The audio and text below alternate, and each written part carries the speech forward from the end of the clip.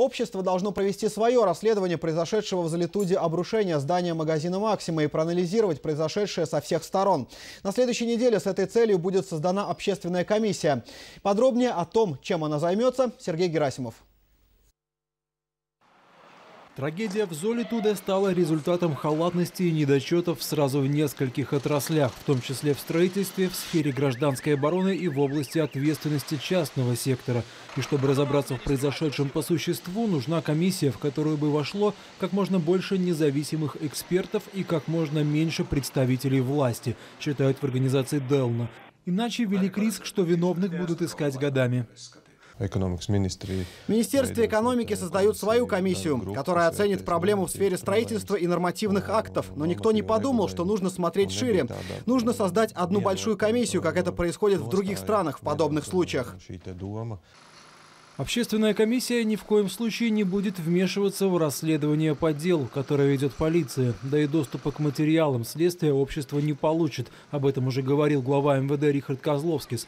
Совсем наоборот, не исключено, что результаты работы комиссии вполне могут пригодиться правоохранительным органам.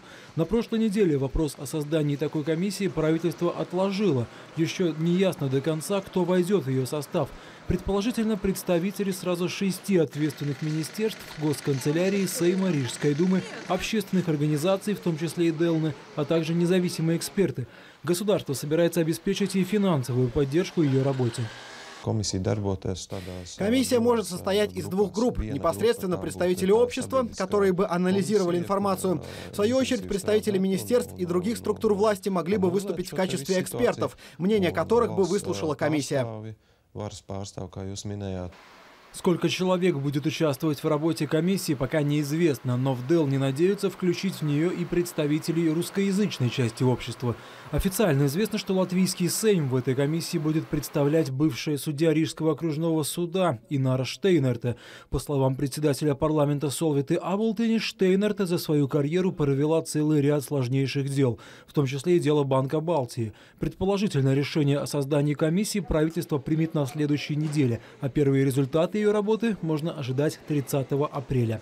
Сергей Герасимов, Рихард Смелтерс, Латвийское телевидение.